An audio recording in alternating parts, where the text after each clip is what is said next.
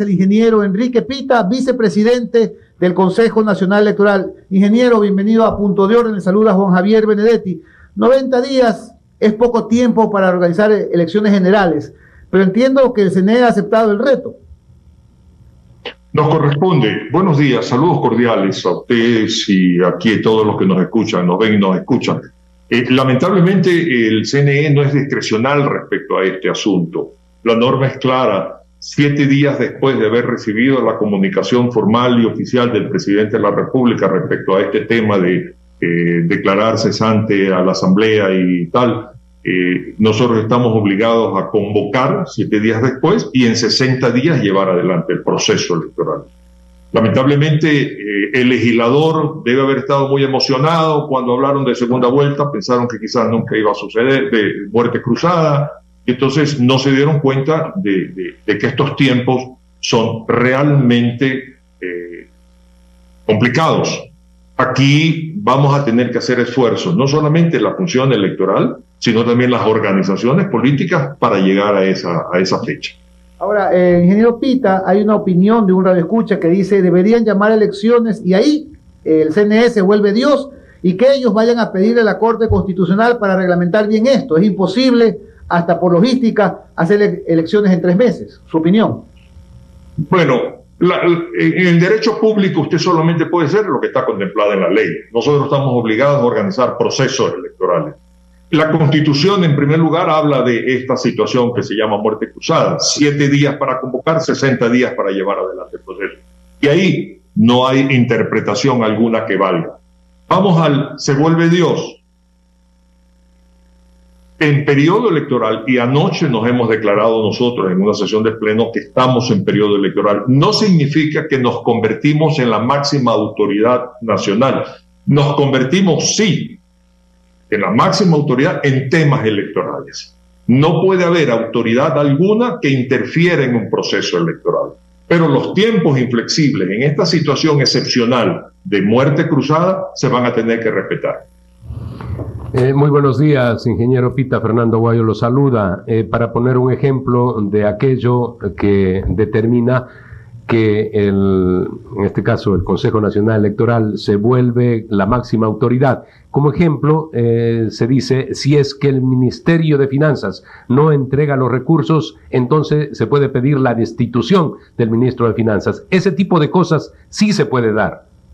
Definitivamente sí, así es si mañana no tenemos el apoyo pertinente por, por parte de, eh, o, hay interferencia de la función eh, judicial respecto a, a, decisiones que interfieran eh, nuestra gestión, obviamente el Tribunal Contencioso Electoral sería quien juzgue en un momento dado estas interferencias y, y claro, establezca las sanciones que pueden ir desde la de multas muy importantes hasta la destitución.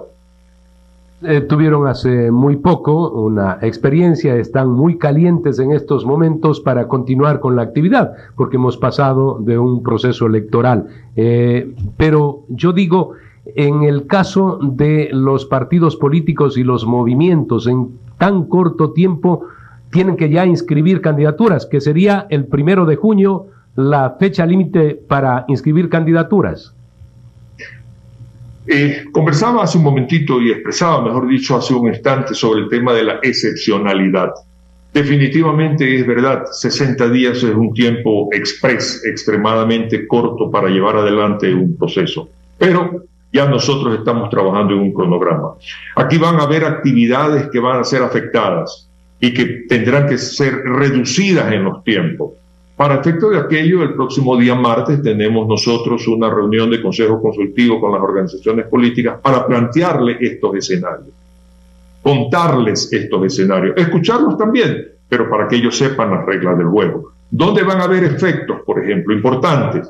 Va a haber efectos en los procesos de democracia interna.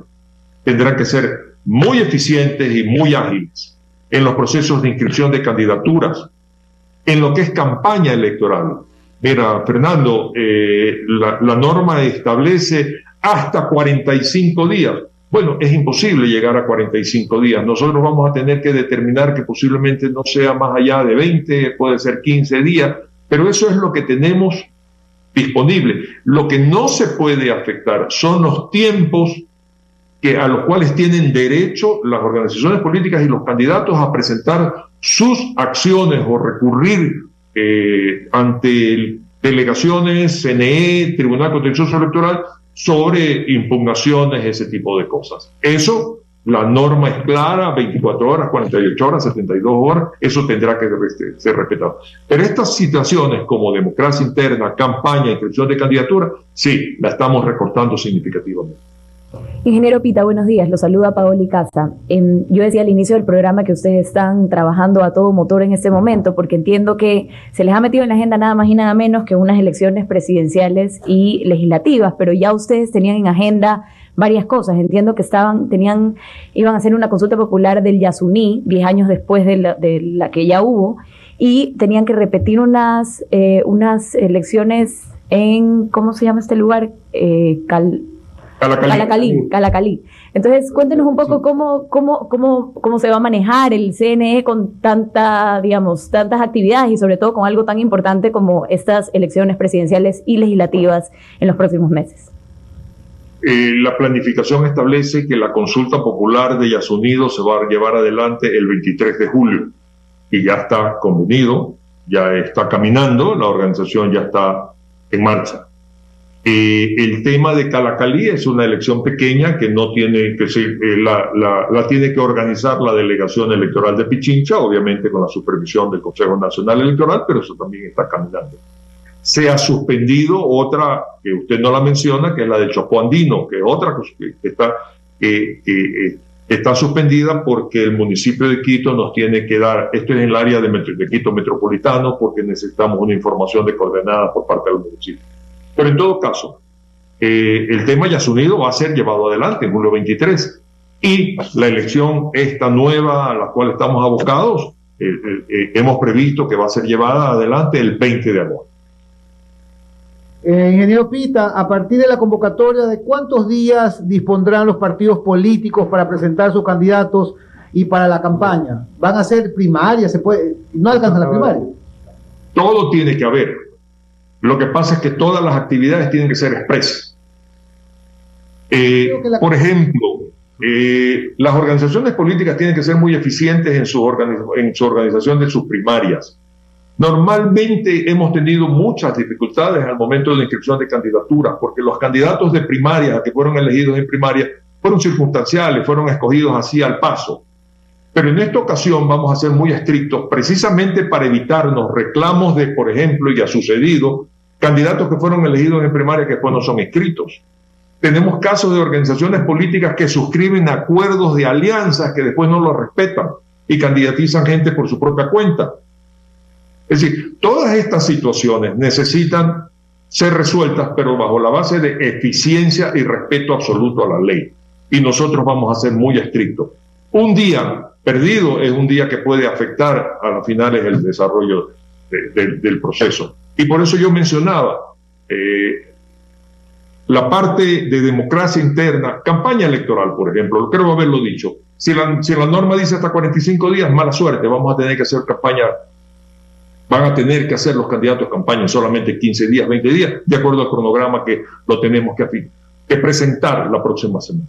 Ahora sí, usted está hablando de 15, 20 días, pero ustedes ayer anunciaron que 8 días campaña ha dado el CNE. 8 días es, insuficiente, tiempo insuficiente. Sé que, son unas elecciones express, unas elecciones sui pero 8 días de campaña es absurdo, ingeniero.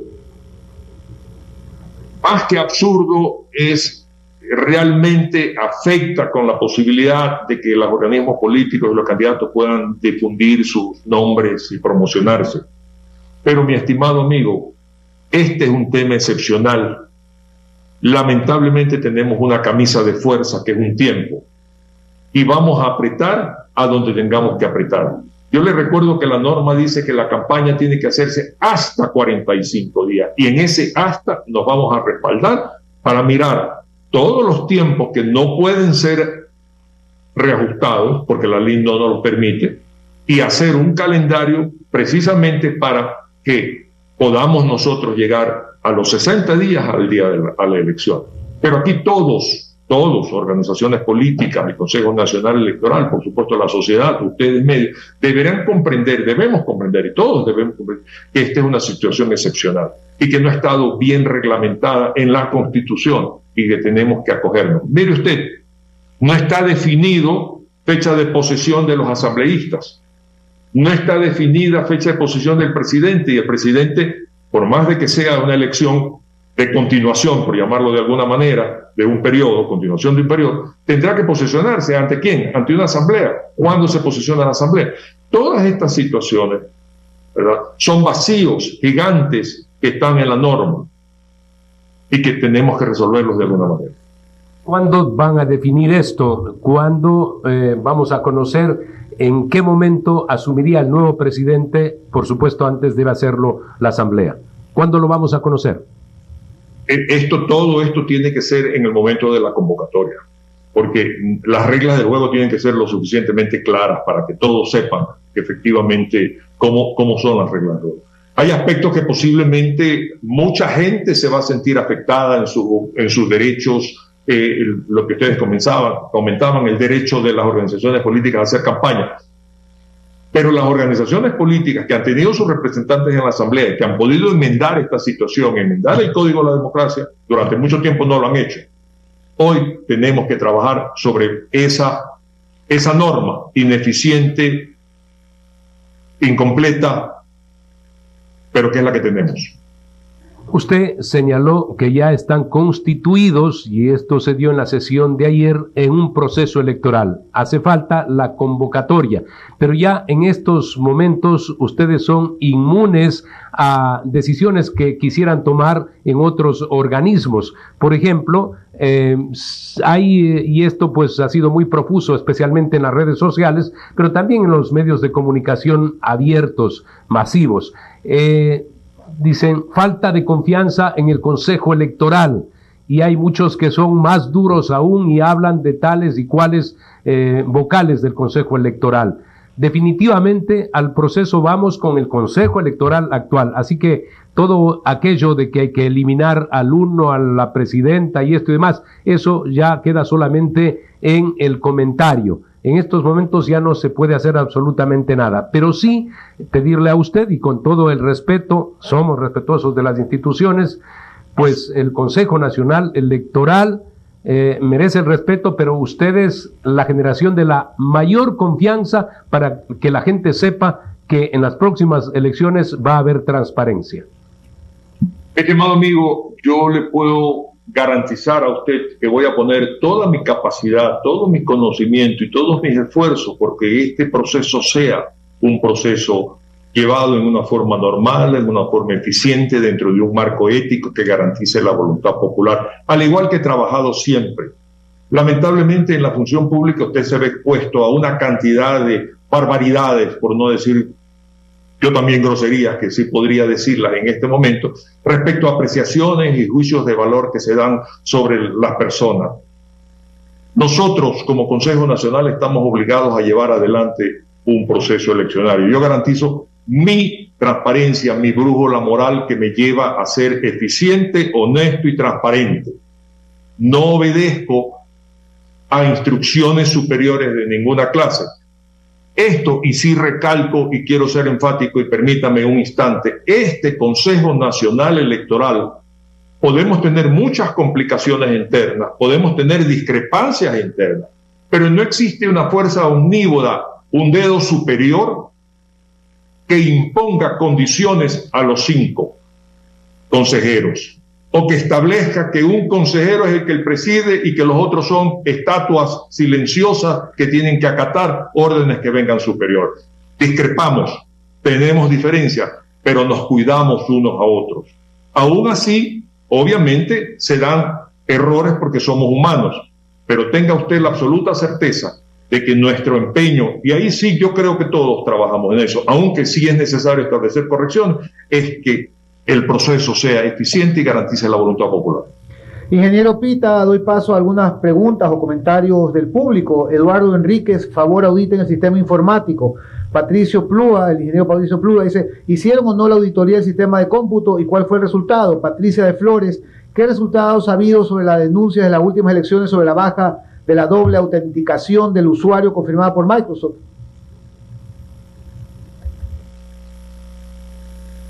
Eh, uno de los comentarios más eh, cuestionadores del proceso, de un proceso electoral, y esto es historia de mucho tiempo, es el sistema informático.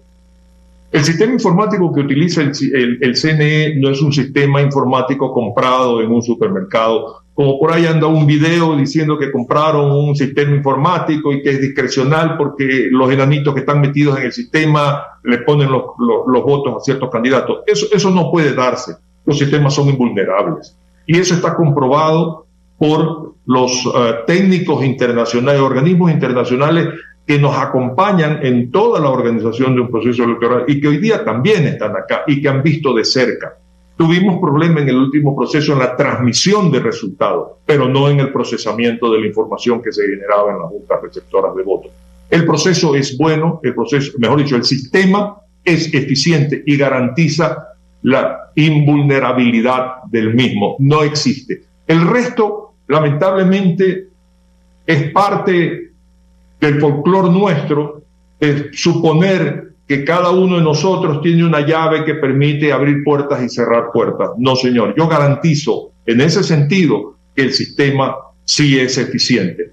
Que hay acciones que se han permitido y que, por ejemplo, como la última que me tocó a mí estar presente cuando encontré que en la provincia del Guaya se estaban en forma fraudulenta llenando actas de, reconteos para ingresarlas al sistema, tiene que ser corregido.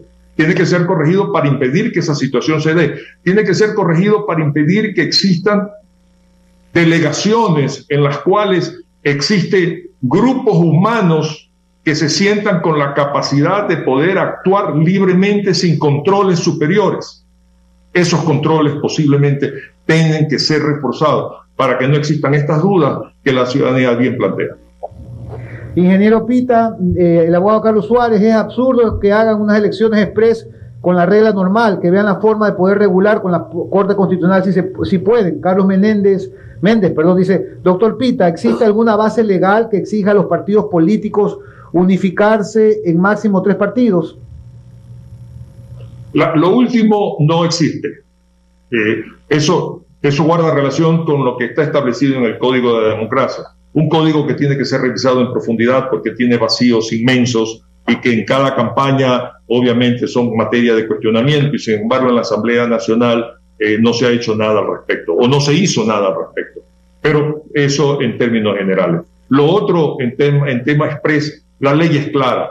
La ley, la constitución, no es la, y ya no hay interpretación. Dice, siete días después de ser notificado, convocamos, 90 días decidimos la elección.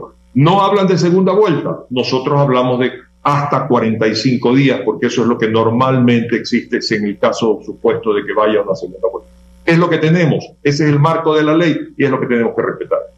Por la especial circunstancia que vive el país, aun cuando lo hemos ratificado una y otra vez, eh, esto es parte del marco constitucional. El artículo 148 posibilita la aplicación de la muerte cruzada y así lo ha hecho el presidente de la República. A nivel internacional no es muy entendido aún y se confunde incluso con el caso de Pedro Castillo y son dos cosas absolutamente diferentes. Allá Pedro Castillo se quiso declarar dictador y por eso tiene que pagar alrededor de 24 años de prisión. Eh, aquí en el Ecuador, pues la constitución lo permitía. En estas circunstancias, digo, a nivel internacional, me imagino habrá la preocupación. Ustedes están invitando a todos los organismos, la Unión Europea, Parlamento Europeo, por supuesto, Estados Unidos, OEA y demás, para que acompañen en estas especiales elecciones que vamos a tener. Pues sí, señor. Eh, es necesario que nosotros hagamos las invitaciones pertinentes a todos estos organismos que tradicionalmente nos han acompañado para que en calidad de observadores estén acá. Pero le adelanto que también hay organismos que tienen gente acá, que tienen funcionarios acá presentes, que nos ayudan precisamente a mirar con su, con su experiencia y su profesionalismo ciertos aspectos que son importantes irlos mirando. Y que nosotros tenemos confianza en que ese apoyo se basa, pues obviamente, en una experiencia inmensa. Y, y, no estamos cerrados a eso, al contrario, mientras más ojos miran el proceso, más transparente puede este entenderse que es. Agradecemos la presencia en este micrófonos del ingeniero Enrique Pita, vicepresidente del Consejo Nacional Electoral. Buenos días, ingeniero. Buenos días. Gracias, sí, las órdenes. Buenos días.